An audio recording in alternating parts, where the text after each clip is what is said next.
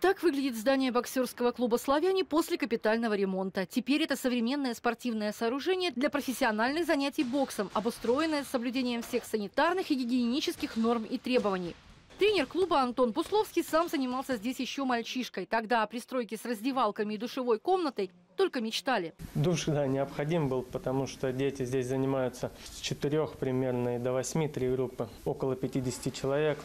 Как бы тренировки тяжелые. Кроме обновленного здания, спортсмены получили и новое оборудование для тренировок, спортивные тренажеры и боксерские груши.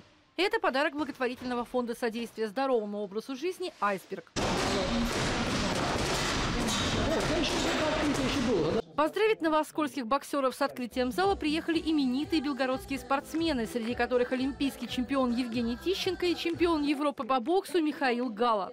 Теперь чемпионы будут и среди новооскольцев, уверена начальник управления физической культуры и спорта Белгородской области Наталья Жигалова.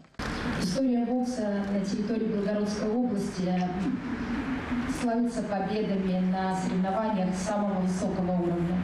И очень бы хотелось верить, что в этом зале эта история продолжится, и новооскольцы порадуют российский и мировой спорт своими достижениями.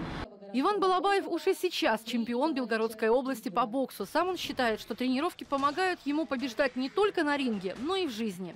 Знаете, бокс дает очень много. Помимо физической формы, также дает силу духа, также дает, так сказать, крепость духа, стойкость.